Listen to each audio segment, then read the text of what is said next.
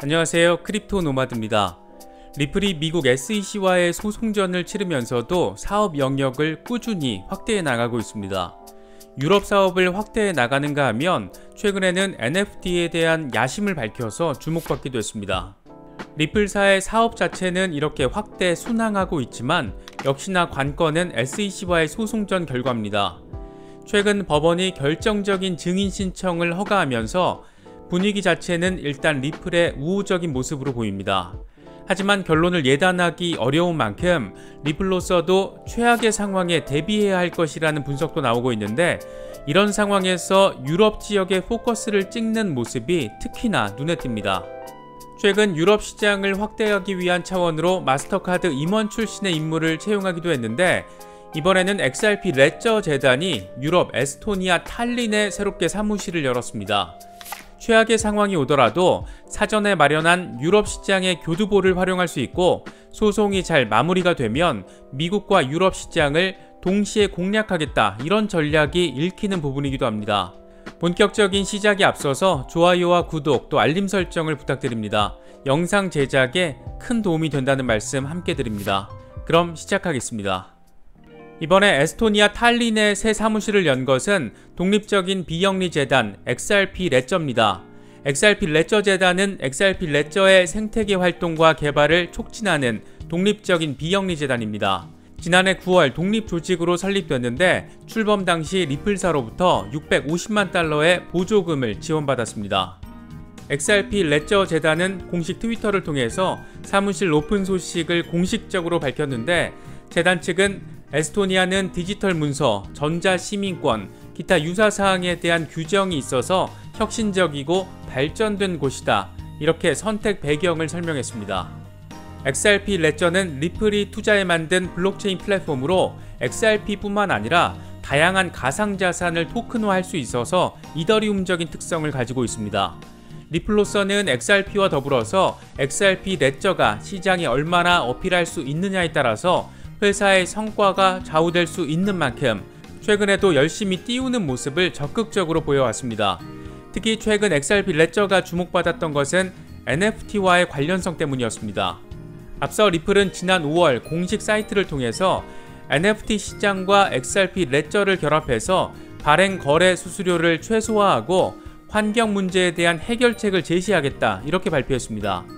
모니카 롱 리플 마케팅 책임자는 암호화폐 전문 매체 Decrypt와의 인터뷰에서 NFT에 베팅하고 있다. XRP 레저는 NFT 소유권 관리에 태생적으로 적합하다. 특히 레저의 낮은 비용과 빌트인 탈중앙화 거래 플랫폼에 주목해야 한다. 이렇게 강조했습니다. 특히 대놓고 XRP 레저가 이더리움의 친환경적인 대안이 될 수 있다고 강조하면서 주목받았는데 그녀는 이더리움이 에너지 소비가 낮은 프로세스로 전환하고 있지만 현재 네트워크를 유지하기 위해서는 여전히 전력이 소모된다.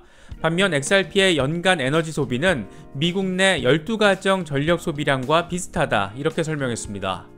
NFT 이슈와 관련해서 XRP 레저를 통해 상당히 적극적으로 접근하고 있다는 점을 느낄 수 있는 부분입니다. 또 일본의 금융 대기업이자 리플랩스 초기 투자자인 SBI 홀딩스는 최근 보고서를 통해서 XRP 레저는 NFT를 위한 최고의 선택이 될 수 있다. NFT의 지속 가능성과 확장성, 접근성을 더 많이 제공할 수 있다. 이렇게 밝히면서 XRP 레저를 띄우는데 한몫을 했습니다. 그만큼 최근에 NFT 시장의 인기가 뜨겁고 시장의 확장 속도가 예상을 훨씬 뛰어넘고 있는 만큼 이 시장을 더 늦기 전에 공략하겠다라는 의도를 엿볼 수 있는 부분이기도 합니다. SBI 홀딩스는 리플랩스 외부 투자자 가운데 가장 많은 지분을 보유하고 있어서 리플의 성공에 직접적인 영향을 받는 이해 당사자로 볼 수 있습니다. 이처럼 XRP 레저는 리플사에게 있어서 상당한 의미 부여를 가지고 있는 프로젝트입니다. 이런 XRP 레저의 생태계를 알리고 개발을 촉진하는 일을 담당하는 XRP 레저 재단이 선택한 장소가 유럽이라는 점은 그래서 더 주목받고 있습니다. 이더리움과 경쟁 역량을 밝힌 주요 프로젝트의 근거지가 미국이 아닌 유럽으로 결정됐다는 점에서 유럽 시장 공략 의지를 엿볼 수 있기 때문입니다. 리플의 유럽 시장 공략 의지는 앞서 마스터카드 임원 출신의 샌디 영을 채용하면서도 어느 정도 드러났습니다. 샌디 영은 리플 유럽 사업부 managing director로 채용된 것으로 전해졌는데 15년 이상의 핀테크 결제와 컨설팅 경력이 있는 인물에게 유럽 사업 확장 책임을 맡긴 겁니다. 리플은 당시 유럽이 리플사에게 매우 중요한 시장이다.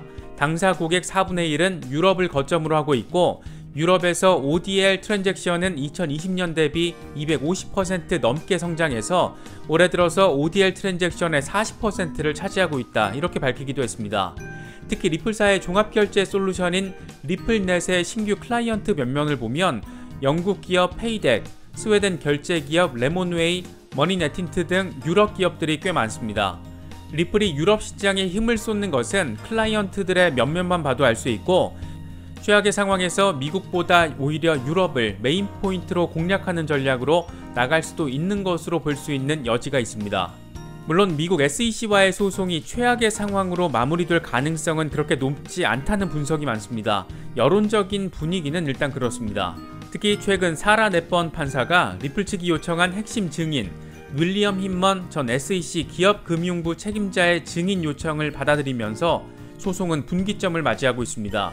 이더리움을 증권으로 볼 수 없다라고 공개적으로 밝힌 인물인 만큼 소송에 적잖은 영향을 미칠 것이라는 전망이 우세한 상황입니다. 소송과 관련한 최근의 상황이 더 궁금하신 분들은 오른쪽 상단의 카드를 클릭하시면 확인하실 수 있습니다. 따라서 현재 상황에서 정리해 볼 수 있는 그림은 크게 두 가지입니다. 만약 SEC와의 소송이 리플 승소 또는 합의 등 긍정적으로 마무리된다면 리플사는 현재 추진하고 있는 사업을 미국과 유럽에서 적극적으로 펼칠 수 있게 됩니다. 이럴 경우 XRP 시세 역시 엄청난 영향을 받을 가능성 충분히 생각해 볼 수 있습니다. 또 다른 하나는 SEC가 승소했을 경우인데 이럴 때는 리플 측은 주요 타겟 지역을 미국이 아닌 유럽으로 설정할 가능성이 상당히 높아 보입니다. 규제 이슈가 발목을 잡을 수 있는 미국 시장을 sub market으로 삼고 아예 유럽을 main market으로 만들어서 사업을 확장하려는 전략을 생각해 볼 수 있는 겁니다. 시간이 좀 더 지나면 가상화폐 규제 이슈가 좀 더 명확해질 것이기 때문에 리플은 일단 유럽에 집중을 하고 추후에 미국 시장을 더 적극적으로 공략하는 방식으로 사업의 방향성을 확정할 가능성 충분히 존재해 보입니다. 물론 이건 어디까지나 가능성의 측면에서 바라볼 수 있는 상황입니다. 리플 holder의 입장에서 가장 nice한 결과는 소송이 긍정적으로 마무리가 되고 XRP가 시세를 충분히 받는 것이고 또 이 과정에서 리플이 글로벌하게 사업을 열심히 확장해 나가는 모습일 겁니다. 아직 뭐가 어떻게 될지 예단하긴 어렵지만 부디 best card에 가까운 결과가 날 수 있기를 조심스럽게 기대해 봅니다. 리플을 둘러싼 이런 어수선한 상황 탓에 리플 시세 역시 상당히 어수선한 모습을 보이고 있습니다. 장기 holder분들이나 4월과 5월 고점에서 매수하신 분들은 꽤 답답한 시간이 될 수밖에 없는 그런 상황인 것 같습니다. 그래도 긍정적으로 보이는 소식들이 계속해서 전해지고 있는 만큼 좀 더 상황을 주시해 보시면서 희망을 가져보시는 게 어떨까 생각됩니다. 이번에 준비한 영상은 여기까지입니다. 영상이 도움이 되셨다면 좋아요와 구독 또 알림 설정을 꼭 부탁드리겠습니다. 영상 제작에 아주 큰 도움이 된다는 말씀 함께 드립니다. 언제나 성투하시기를 기원하겠습니다. 힘찬 한 주 시작하실 수 있으면 좋겠습니다. 시청해주셔서 감사합니다. 지금까지 크립토노마드였습니다.